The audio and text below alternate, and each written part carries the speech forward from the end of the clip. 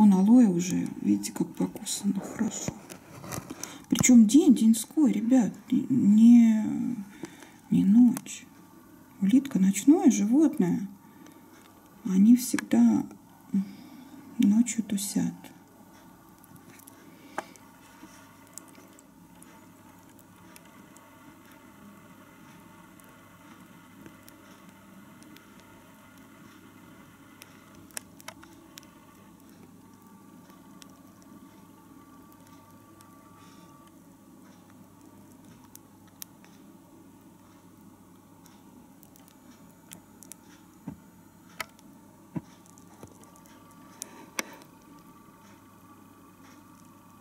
Я посидела, целыми днями смотрела.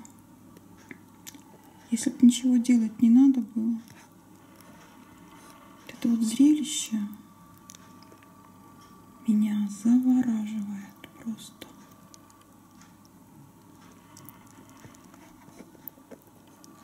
Их медлительность гипнотизирует.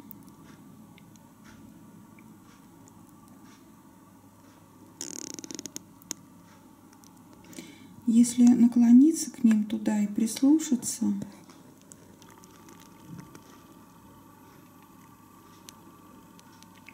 там такое чавканье неумолчное.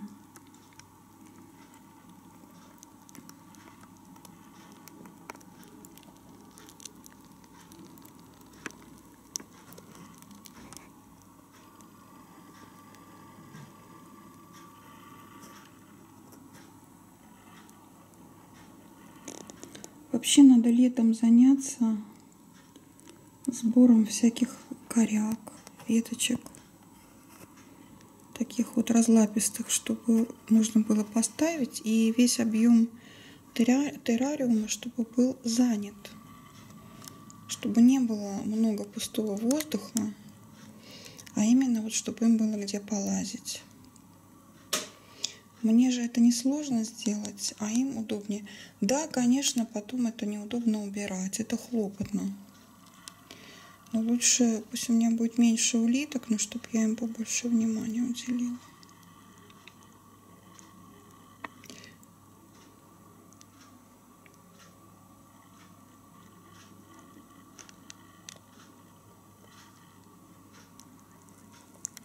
Я когда-то прочла, что улиткам нежелательно и даже нельзя давать цитрусовые. Почему-то приняла это на веру, что да, так и есть. Совершенно не понимаю, как я могла серьезно к этому отнестись. Но потом уже увидела, какие иногда вещи пишут в интернете. Например, про тех же хеликсов. Ну, то есть все, что если где-то нет информации о чем-то, то обязательно появляется какая-то информация ложная. Вот. Про тех же хеликсов написали, что им обязательно зимовка 6 месяцев, иначе они э, плодиться не могут, и что половозрелое состояние у них в 3-4 года наступает. В общем, какие-то совершеннейшие нелепости. Вот. Можно предположить, что и про хатин то же самое.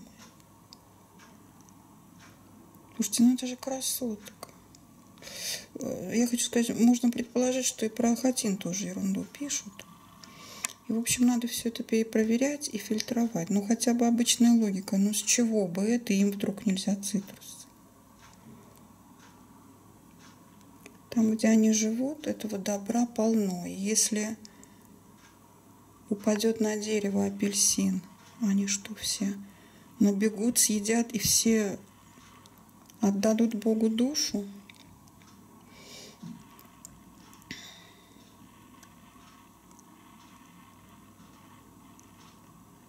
массовая гибель улиток будет зафиксирована. Просто от того, что мандарин свалился, свалился с дерева, а их там это тысячи плодов цитрусовых оказывается на земле. Вам какие нравятся?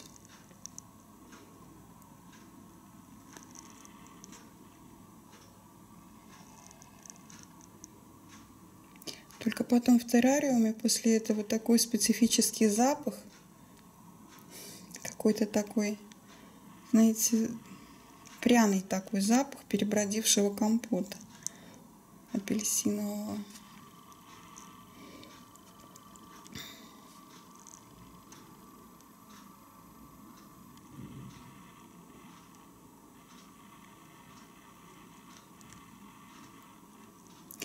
Я вот думаю, в принципе, если им давать сочные корма, можно, наверное, и не ставить поилку. Им хватает воды в плодах сочных. Но они так охотно пьют воду и так охотно купаются в этой поилочке. Господи, она прямо сок пьет, лапуся. Ой. Вот я смотрю, видно, как ей хорошо и обалденно. И мне это передается. Это ж надо уметь такое удовольствие от еды получать. От простой нормальной еды. Кстати, о простой нормальной еде, вот все-таки я не уверена, что эти апельсины там, ну как бы, самые лучшие. Может быть, там тоже что-то генно модифицированное. Увлекаться не будем.